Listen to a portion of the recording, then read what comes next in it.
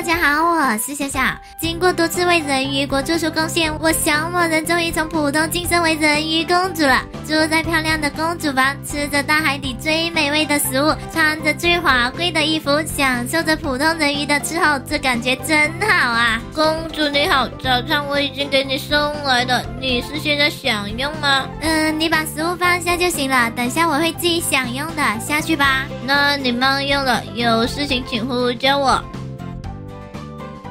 没错，这就是我小某人的日常生活。真怕我哪天突然就胖起来了。这蛋糕真好吃，嗯，成为人鱼公主真好，每天都有我们这些普通人鱼伺候。可惜人鱼国只有一个人鱼公主，上次我就是差一点贡献，不然就能晋升为人鱼公主了，结果却被她抢了，不然现在就是她伺候我了。食物又吃完了，不仅要养自己，还要把食物最好的留给公主。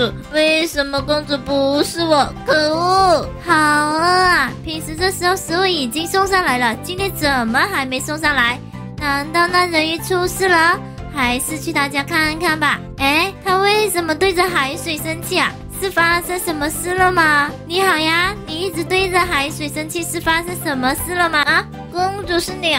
没发生什么事，我刚刚就在发牢骚而已，没事就好。对了，今天的食物嘞？早上到现在都没吃东西，好饿啊！快把食物给我吧。食物吃完了，公主你先回家稍等一会，我马上去找食物，找到食物我就送上你家去。原来食物吃光了，难怪今天这么晚还没把食物送上来。行吧，我先回家等你的食物了。可恶，为什么公主不是我？自己都没吃的，还要帮别人找吃的？算了，谁让她是公主，而我只是普通人鱼，只能去找食物了。我现在的生计竞争越来越大了，店里快支撑不下去了，真羡慕隔壁村的李老板。因为找到一条美人鱼，一下子把多年亏的都赚回来了。可是美人鱼哪有那么容易抓？不然哪会这么值钱？不过如今只能死马当活马医了，去码头碰碰运气，发财了。想不到运气这么好，真的遇见美人鱼。还好出来的时候带上捕鱼神器，上来吧，美人鱼。我我怎么飞起来了？救命啊！这里怎么有人类？我不会这么倒霉吧？公主被人抢了，出来找食物还被人类抓，发财了！抓到一条人鱼公主有仇了，要不忽悠她帮我抓人鱼公主，抓到她我就能在隔壁村开一家分店。听说人鱼国只有一个公主，如今公主不出意外，你永远只是普通的人鱼，真惨啊！想不到一个理解我的心情。不过你看我这么强，可以放我一马吗？放过你可以啊，而且我还能帮助你当上公主。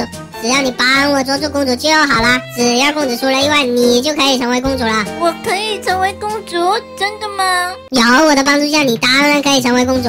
就看你想不想当了。当上公主后，到时候就别人伺候你喽。想当想当，不过你要怎么帮助我？我这里有个道具，可以把人变成动物的。